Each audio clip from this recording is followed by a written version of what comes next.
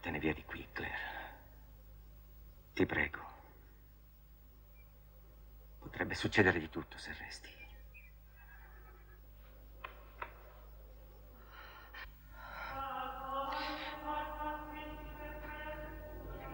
Credo di aver ucciso qualcuno. Oddio, fa che sia lei. e non lui.